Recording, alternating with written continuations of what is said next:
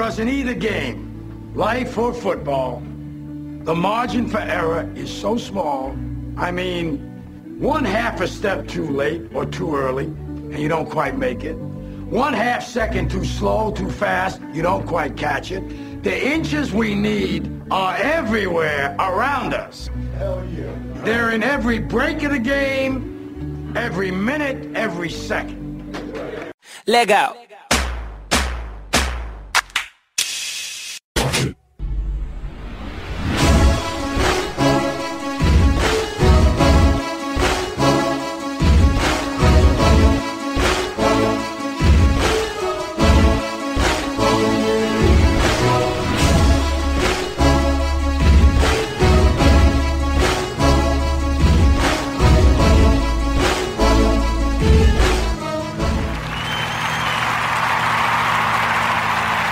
Hey everybody, who wants to be a millionaire? Um, it's funny, I was driving right now and I just saw a Coyote. I was driving yesterday morning and I saw a Coyote. Um, now, what does that mean? I think that means if I was a Native American Indian, I would say if you see two coyotes in a row, that means I probably will not see a coyote for a while. Just the law of average. Um, no, no deeper spiritual meaning. Sorry. It, it's funny. So a lot of times you go to funerals, and um, I was at one uh, a couple years ago, and uh, real exciting. And there was a guy, uh, one of the relatives, you know, probably a nice guy. I don't know. Um, usually you see people that you've never seen before. It's uh, it's like a family get together, um, and uh, he's saying, "Oh, that he's an eagle now and he's talking to whomever and he's looking down on us and kind of looking up, you know, and uh, I, I I think well, sure that's that's that sounds good and, and it's nice to have people say good things, but it does you about as good as um, you know just taking a rock and, and throwing it in the ocean. You know, it sounds good, but it doesn't do anything. It doesn't mean anything and uh, the rock's going to lay where it's going to lay. You can say all you want about you know what that does or what it's going to do, but uh, it's not going to do nothing. You know, the, your you, the efficacy to uh, to say a word that um, I could normally say when uh, uh, I've been up for a few hours. Uh, it's hard to say when you just woke up of, of, of, all that when you're dead is nil. You know, every everything you're going to do in the afterlife, you have to do before, um, at least according to the Bible. And and if we're if we're not going according to the Bible, well, then it's not supernatural. Um, and the only thing that's going to save you after your blood pressure goes to zero is something that's supernatural. In that, I say that. Um, every city within a thousand miles of Jerusalem had its uh, future and uh, or sorry past present and, and future foretold. How, how the city was going to be built and how it was going to fall. And there's supernatural things to it. So it, it, it kind of passed a lot of litmus tests. It's not just a, a promise. And i say without that supernatural element it's just tradition or um, hearsay, and a lot of religions are like that. Not to beat up on religion, uh, I'm just saying that that's that's nice. Like uh, certain religions that that just have goodwill towards people. That's it's a great way to live. Um, but you got to remember, a lot of these religions get their belief system, or, or at least a lot of their wisdom, from the Bible.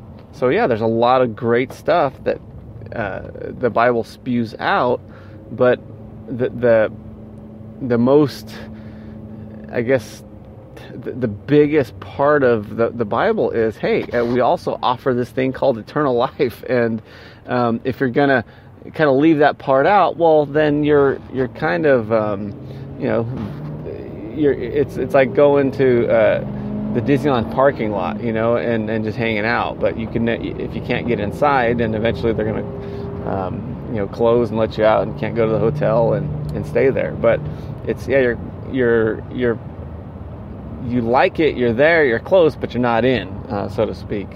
Um, probably the worst analogy ever in the history of podcasting, but the day's young. So, you know, these uh, they, they these guys say things, and and you know, I always tell people, I go, you need that supernatural element. You know, when your blood pressure goes to zero, and and how do you know it's supernatural? Not because the story sounds good, or because your father's father's father told his father, told his grandson's grandson, grandson told his grandson. Um, you know, w- without that, hey, you know, this is this is almost impossible for for or actually impossible for these predictions to have come true, um, and uh, now they came true, and it separates, you know, uh, just these things we're talking about, and.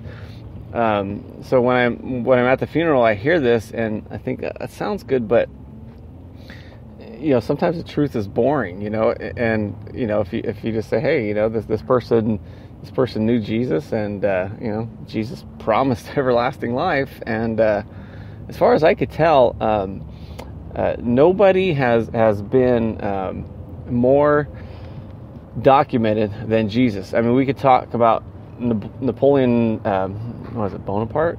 Uh, his he uh, did he fight? Waterloo, stealing from uh, what's his name, um, McGee, and you know, we all agreed that Napoleon existed. In fact, I don't think anybody in a room full of uh, educated people would dare to say Napoleon didn't exist and he didn't fight that battle. But yet, Jesus is um, much more doc, very much more documented than Napoleon. Um, there are different writers from different times, different areas document Jesus's existence and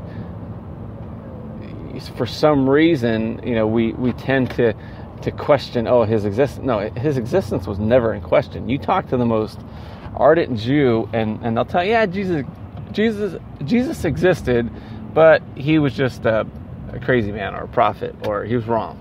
Good guy, but he was wrong. And what's interesting is you talk to the Jews back in the day of Jesus, and these are all historical people. They're not just uh, a guy, um, you know, in, in, the butt of a joke uh, that walked into a bar. No, this was a Jew like Josephus, you know, that that um, they have writings that have, have been uh, brought down, and, and um, you know, we know these people existed, and um, as much as or as more as anybody else. Uh, so to, to deny these people would be to de- deny Aristotle and Plato and you know the people that we do know exist because of the writings and writings of other people that um, kind of commented on them. And these people these jews sec- you know not they weren't christians they have no no dog in the fight and they would say that jesus sure he did supernatural things but it wasn't from god it was from satan. And you know you ha- they're they're actually hurting the point in while they're trying to belittle him, they make him a god in that he's doing godlike things and he's claiming to be God and.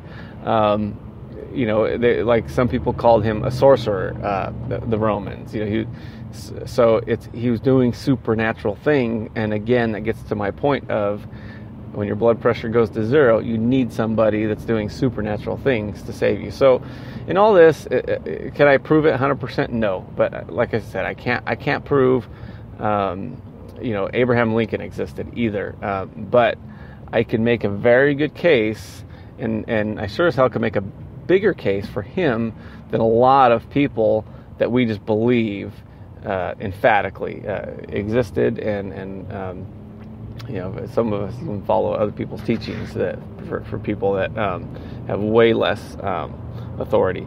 So, in any event, um, that was uh, uh, was that from two coyotes? I got that. Wow. So um, I was I was talking to uh, to somebody yesterday, and, and we're, we were talking about um, the younger crowd, and, and I was thinking, you know, there's this kind of a, a bridge between the younger crowd and us, and, and I did a podcast on on like uh, communication and technology Uh, very exciting podcast. In fact, I, I, recommend it to everybody. And by the way, tell a friend. Um, every, you know, I get maybe, uh, I don't know, 100, 200 listeners a month or whatever, and, and on on uh, the website. And then I got, you know, a couple, uh, few hundred listeners on on the the Spreaker app, and then you know, this.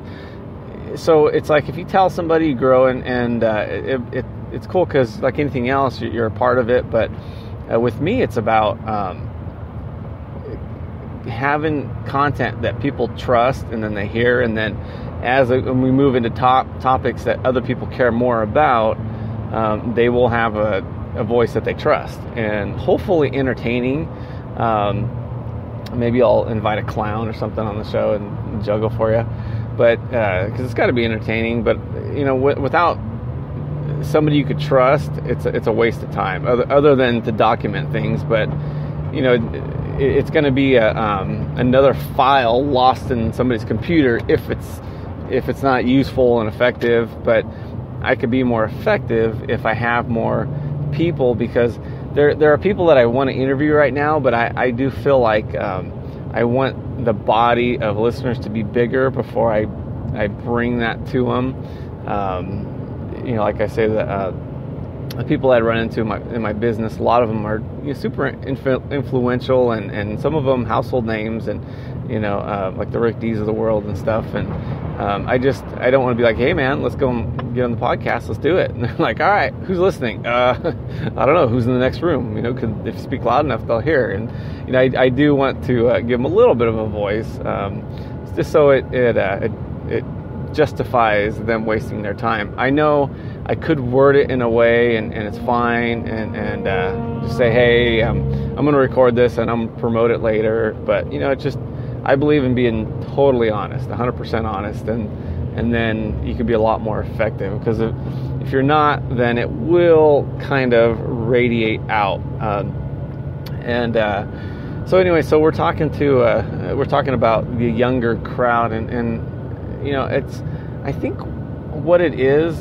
and this, all this stuff is to benefit you, whether you're in business, trying to get a promotion, trying to succeed, um, whatever it is, these things are across the board. They, they overlap um, into, into other things.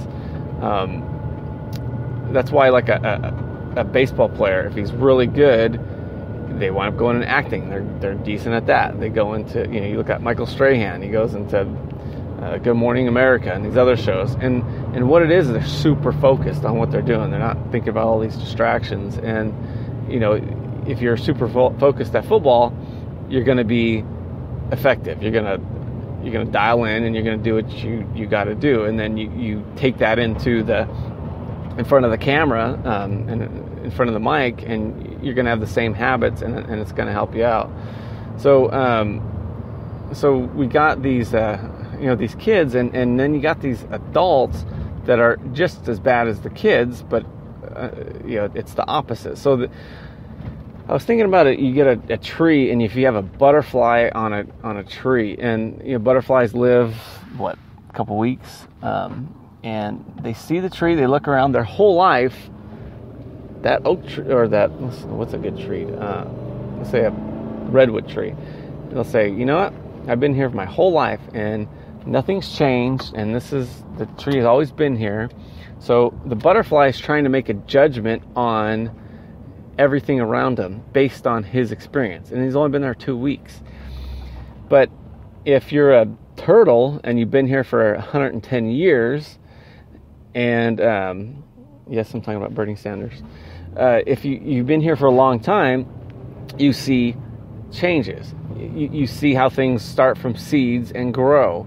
And it, it's not that you're you're smarter or anything else. You just know more things, and when you when you know more things and you apply more those things that you know, you become wise. It's wisdom.